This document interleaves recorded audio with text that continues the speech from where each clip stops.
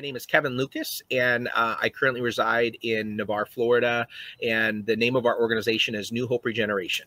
The reason that we chose Doctors for Providers was uh, their callback uh, and engagement was uh, way better. We had reached out to four or five different companies, um, and, and literally Doctors for Providers uh, reached out to us uh, right away uh, with a phone call and, and an email. Um, and the other organizations, it, it literally took a, a, couple of days for them to, to get back to us. So yeah, the the big decision on going with Doctors for Providers was the ability for us to find a doctor that was going to work within our system you know, sometimes uh, when you're looking for medical oversight, uh, the docs that we've had experiences in the past wanted to essentially kind of take everything over, or they wanted to implement their own policies and procedures, and that just didn't work well for us. We have a very successful and proven system. So the best thing about Doctors for Providers was they were able to find us a doc who wanted to offer the oversight that we needed uh, without all of the drama of essentially wanting to take over. Um, and to be honest, the price points also were were uh, were, were very uh, workable and, and great.